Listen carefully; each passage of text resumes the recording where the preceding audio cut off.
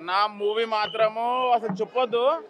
ప్రతి ఒక్క scene elevation సీన్సే అమ్మ సెంటిమెంట్ కొట్టి నా లాస్ట్కి మీరు మూవీ థియేటర్కి వెళ్ళిన తర్వాత కేజీఎఫ్ ఓల్డ్కి వెళ్ళిపోతారు.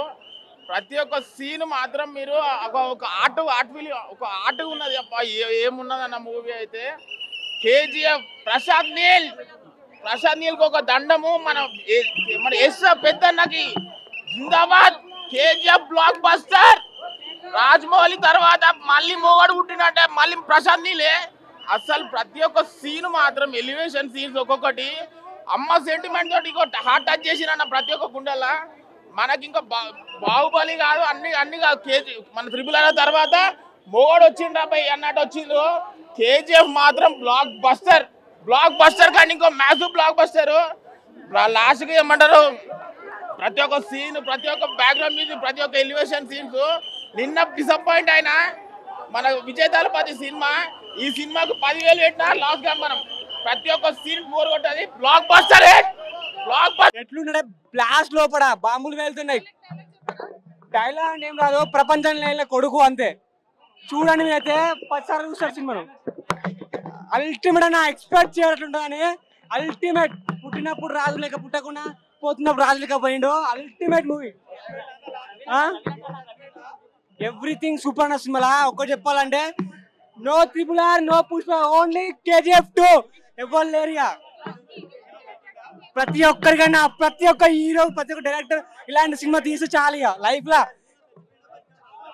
అది చూడండి సస్పెన్స్ సస్పెన్స్ సస్పెన్స్ రాజు లెక్క పోతాడు పోతున్నప్పుడు మాత్రం.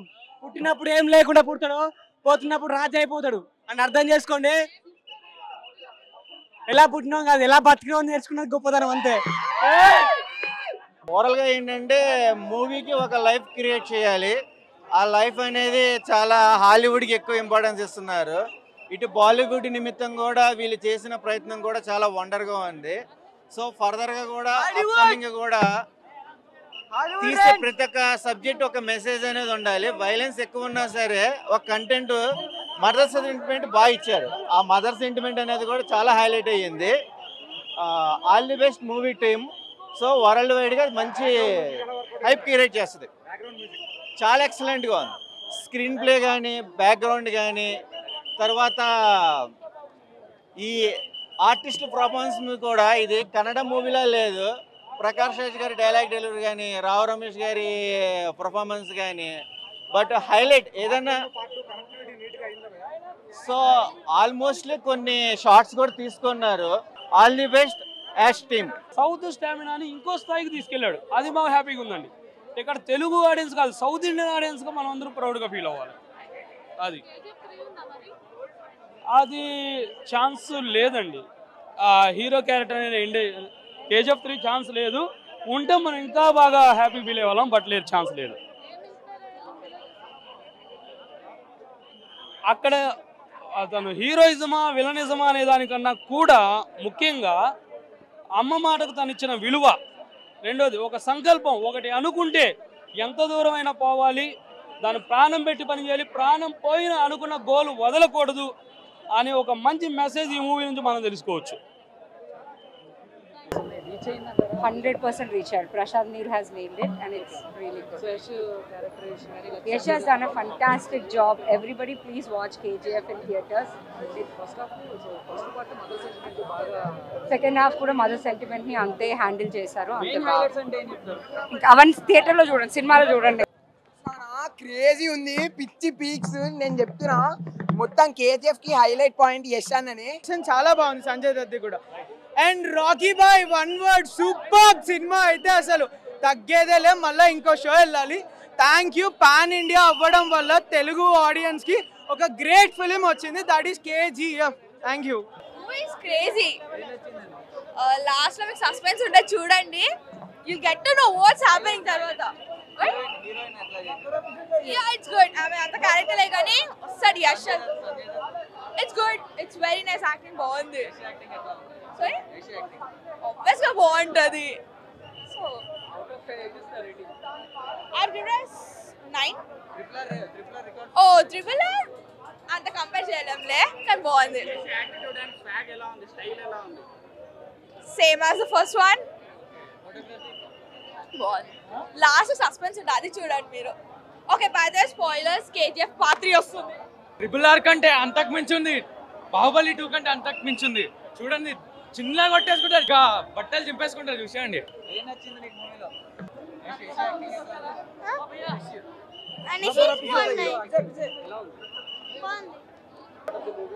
అసలు ప్రతి ఈచ్ అండ్ ఫ్రేమ్ చాలా బాగుంది. అసలు ఈ మధ్య కాలంలో ఇటువంటి సినిమా చిన్నపిల్లలని కాదు. అసలు చిన్నపిల్లలు ఫ్యామిలీ చూడలేము అనుకుంటాం. కానీ ప్రతి ఒక్క ఇన్సిడెంట్ ఏమవుతుంది ఏమవుతుంది అంత స్టార్టింగ్ నుంచి ఎండింగ్ దాకా ప్రతిదీ థ్రిల్లింగ్గా ఉంది. చాలా బాగుంది.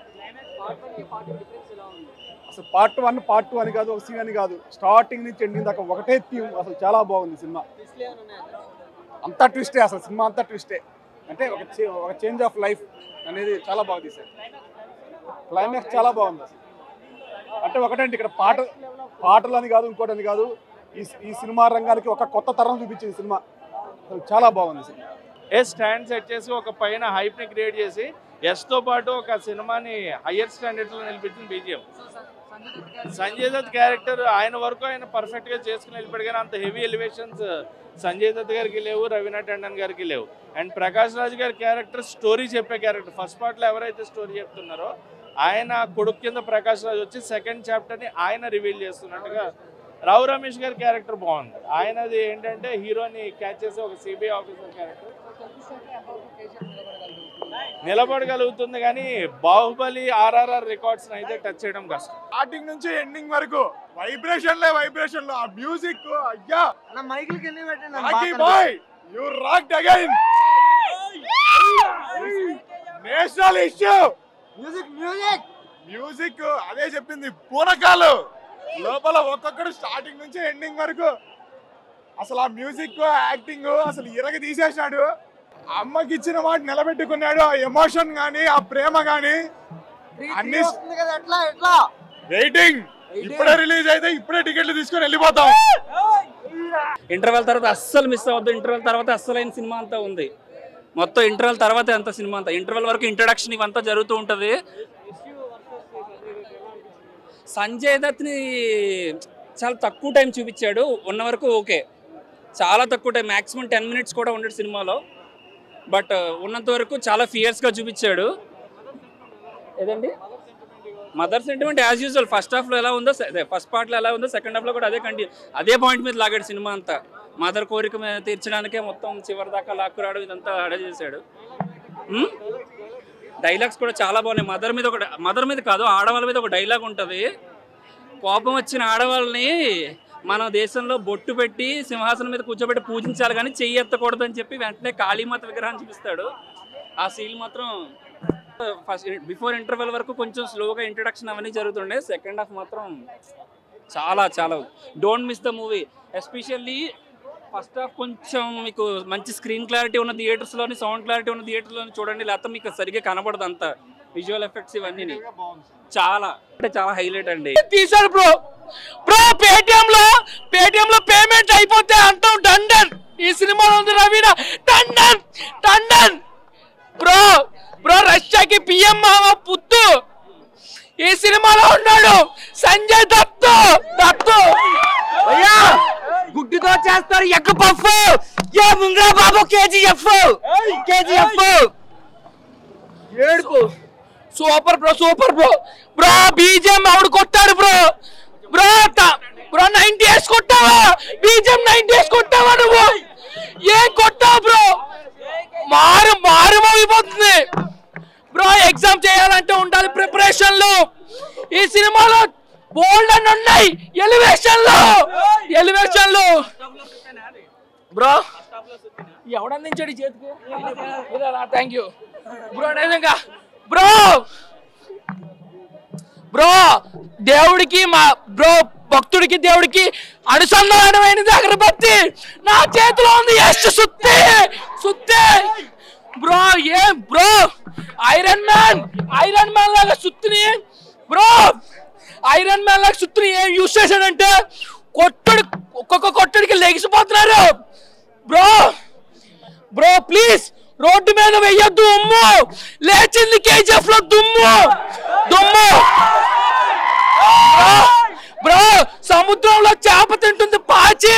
ఈ సినిమాలో ఉంది నరాచి. నరాచి. Super bro. కానీ అమ్మ సెంటిమెంట్ మాత్రం ఏడిపించారు. ప్రతి ఒక్క ఆడియన్ ఏడుస్తారు బ్రో. ప్రతి ఒక్కడు ఏడుస్తాడు. మనసున్న మహారాజు ప్రతి ఒక్కడు ఏడుస్తాడు. బ్రీజంతో బాంబులు కాదు ఆటం బాంబులు పేల్చాడు. ఆటం బాంబులు పేల్చాడు. అమ్మ ప్రతి ఒక్కరికి లాస్ట్గా చెప్పేది ఒకటే. కుర్రోళ్ళకి కావాల్సిన అమ్మాయిలతో చుమ్మా కానీ అందరికన్నా గొప్పది అమ్మా! రే!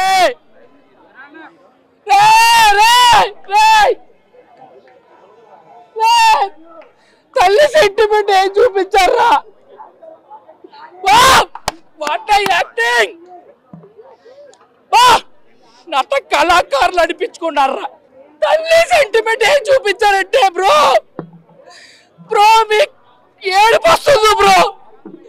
ఏడుపు వస్తుంది ఇన్ని రోజుల తర్వాత. మనస్ఫూర్తికి. ఏడుపు వస్తుంది bro. Bro super bro super bro bro నువ్వు ముందు చదువుకోవాలి ఎగ్జామ్ రాయాలంటే ఉండాలి ప్రిపరేషన్లు ఈ సినిమాలో ఉన్నాయి చాలా ఎలివేషన్లు ఎలివేషన్లు బ్రో మా వచ్చాడు యాష్ రికార్డులని చేస్తాడు smash smash smash bro bro ఏం చెప్తాం బ్రో ప్రతి ఒక్క సీన్లో అన్ని ఎలివేషన్లు మా బాబాయ్ చక్కడే వెళ్ళారు అలా కట్టి పడేశాడు ప్రశాంత్ నీళ్ళు బ్రో కారు నడవాలంటే ఇంపార్టెంట్ వీలు. బా ఏం తీసాడ్రా ప్రశాంత్ నీళ్ళు నీళ్ళు బ్రో అది కంపారిజన్ లేదు. ట్రిపుల్ ఆర్ అది ఒక కథ తీసుకొని అది ఒక విధంగా వెళ్ళిపోద్ది. సినిమా మొత్తం దీనిలో ఎలివేషన్ లే బ్రో. స్టోరీ ఉంటుంది. కానీ పిన్ టు పిన్ను అతను నడుస్తుండే ఒక బీజిఎం కాళ్ళు ఎగరేస్తే ఒక బీజిఎం సూట్ వేస్తే దీనమ్మ ఎలివేషన్లకి నిజంగా పిచ్చ పీక్స్ బ్రో ప్రతి ఒక్కడు ఎవరినైనా అడగండి ఒక్కడు బాగాలేదంటే ఒట్టు బ్రో నిజంగా అంత బాగుంది సినిమా మాత్రం. ప్రతి ఒక్కడు ఈ సినిమాని థియేటర్లో వచ్చి చూడాలి. బ్రో రేటింగ్ లేదు ఓటింగ్ లేదు ఏం లేదు బ్రో. గుండెలు గెలిపింది బ్రో ప్రతి ఒక్క ఆడియన్స్లో గెలిపింది సినిమా. ఐదుకి ఐదు బ్రో నీకు కోసం బ్రో ప్రో బ్రో. మనస్ఫూర్తిగా కోరుకుంటున్నా రికార్డులు ఇండియన్ రికార్డులు అన్ని బద్దలు కొట్టాలని మనస్ఫూర్తిగా కోరుకుంటున్నాను ఇప్పటి వరకు ఉన్న రికార్డులన్నీ బద్దలైపోవాలి ఈ సినిమాతో. అంతే bro. Position one by one one by one episodes conquer చేసుకుంటూ వెళ్తాడు. లైక్ డైరెక్షన్ ఈజ్ డిఫరెంట్ ఒక్కొక్క డైరెక్షన్ ఒక్కొక్క రకంగా ఉంటుంది. ఈ మూవీలో వచ్చేసి ఎపిసోడ్ వైజ్ చూడాలి movie episode in the sense ఒక సీన్ కోసం ఒక ఎపిసోడ్ డిజైన్ చేసుకుంటారు. అది అల్టిమేట్గా పై పైకి వెళ్ళడానికి. ఐ మీన్ లైక్ గ్రాఫ్ పెరగడానికి మూవీ సో అల్టిమేట్గా పెరగడం కోసం ఎపిసోడ్స్ డిఫరెంట్ డిఫరెంట్గా డిజైన్ చేశారు. Cinematography BGM slow motions elevations ఇంకేం మాట్లాడకూడదు. చూడుర్రి అంతే చూడుర్రి బాగుంది.